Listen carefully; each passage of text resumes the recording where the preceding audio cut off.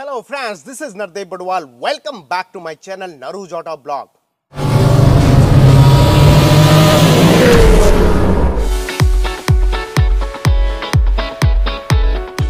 दोस्तों recently Citroen ने अपनी most awaited S five seater and seven seater Citroen C three Aircross को भारतीय बाज़ार में लॉन्च किया है और आज मैं करने वाला हूँ complete comparison between Citroen C three Aircross का सेकंड बेस मॉडल यानी plus versus Citroen C three Aircross का टॉप एंड वेरिएंट यानी मैक्स जो कि सेवन सीटर है, बहुत ही ज़बरदस्त डिज़ाइन डायनेमिक्स के साथ अवेलेबल है दोस्तों। सबसे पहले हम बात करेंगे प्राइसिंग की, जिससे आपको एक बेटर आइडिया हो जाए दोस्तों। यहाँ पे आप देख पा रहे हो इसकी pricing plus second base model की प्राइस जाती है eleven lakh thirty four thousand ex showroom price Delhi. वहीं टॉप वेरिएंट मैक्स की प्राइस जाती है twelve lakh fifty four thousand ex showroom price Delhi.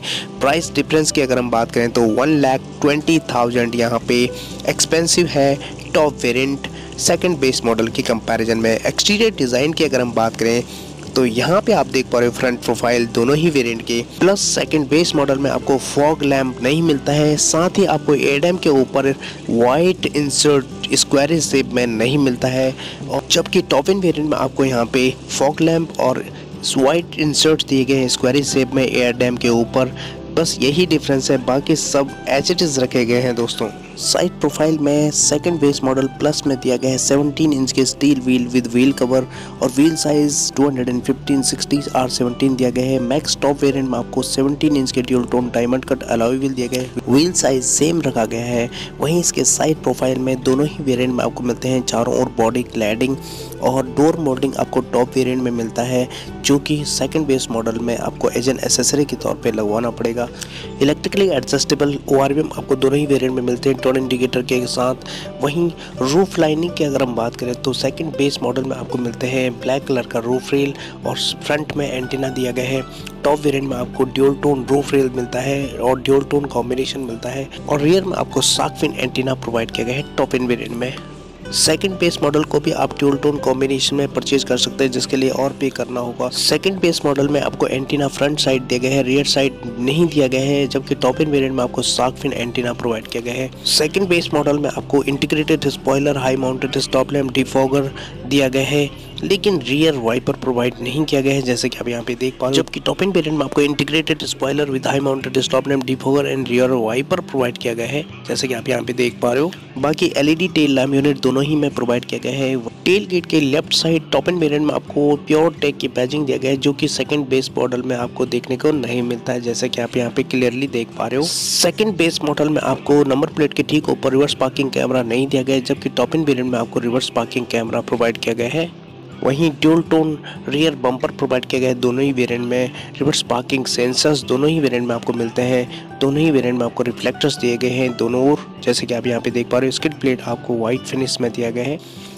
Interior की बात करें तो सेंटर लॉकिंग आपको मिल जाते हैं। वहीं सेकंड बेस मॉडल में आपको फोर स्पीकर दिए गए जबकि टॉप इन वेरिएंट में आपको फोर स्पीकर टू ट्विटर्स दिए गए हैं। डोर्स पे आपको सेकंड बेस मॉडल में फैब्रिक इंसर्ट्स दिए गए जबकि टॉप इन वेरिएंट में लेदर इंसर्ट आपको मिल जाते हैं।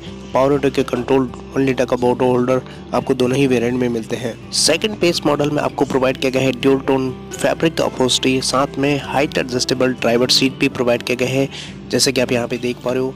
साथ ही टॉप इन वेरिएंट में आपको हाइट एडजस्टेबल ड्राइवर सीट का ऑप्शन तो मिलता ही है और लेदर पोस्टर दिया गया है बहुत ही शानदार कंफर्टेबल सीट जैसे कि आप यहाँ पे चेकआउट कर सकते हैं। वहीं दोनों ही वेरिएंट के डैशबोर्ड लेआउट की अगर हम बात करें तो आप चेकआउट कर सकते हैं। एक आइडिया ले सकते हैं, बहुत ही शानदार यहाँ पे डैशबोर्ड लेआउट काफ़ी प्रीमियम फील देते हैं। दोनों ही वेरिएंट में आपको मिलते हैं सिक्स स्पीड मैनुअल ट्रांसमिशन जैसे कि आप यहाँ पे देख पा रहे हो। और 10.23 इंच का floating touch screen infotainment system 7 inch का डिजिटल इंस्ट्रूमेंट क्लस्टर और मैनुअल क्लाइमेट कंट्रोल दोनों ही वेरिएंट में कॉमन है दोस्तों। और वहीं इसके अलावा flat bottom leather wrap steering wheel दिया गया है। Left side audio mounted control right side यहाँ पे इंस्ट्रूमेंट क्लस्टर के बटन दिए गए हैं। बीच में सिट्रियन की बैजिंग जैसे कि आप यहाँ पे देख पा रहे हो day night I R V M दोनों ही वेरिएंट में मिल जाते हैं और को पैसेंजर साइड वेनिटी मिरर दिया गया है। दोनों ही वेरिएंट में आपको ड्राइवर के लिए आमरेस्ट दिया गया है। बाकी सीट में आमरेस्ट नहीं दिया गया है और रियर में कुछ इस तरह का पावर विंडो के कंट्रोल आपको सेंटर कंसोल में देखने को मिलता है। जैसे कि आप यहाँ पे देख पा रहे हो दोनों ही वेरिएंट में। सबसे बड़ा डिफरेंस अब आपको बताने वाला हूँ यहाँ पे।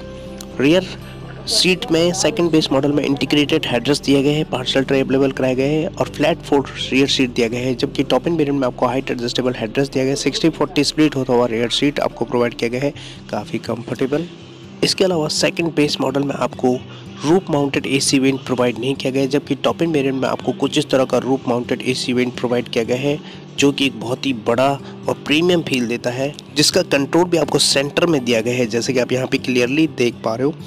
और इसके अलावा दोनों ही वेरिएंट में आपको कैबिन लाइट रियर पैसेंजर्स के लिए मिल जाती है हेलोजन बल्ब के रूप में। बहुत ही शानदार। सेकंड बेस मॉडल का आप बूट एरिया आप चेकआउट कर सकते हैं। टॉप एंड वेरिएंट में सेवन सीटर दिया गया है। फिफ्टी फिफ्टी स्प्लिट कर सकते हैं इंक्रीज कर सकते हैं बूट स्पेस को। आपकी जानकारी के लिए बता दूँ कि फाइव सीटर वाले वेरिएंट में आप थर्टी फाइव थाउज़ेंड और पे करके सेवन सीटर बना सकते हो। ऐसा ऑप्शन है इसमें।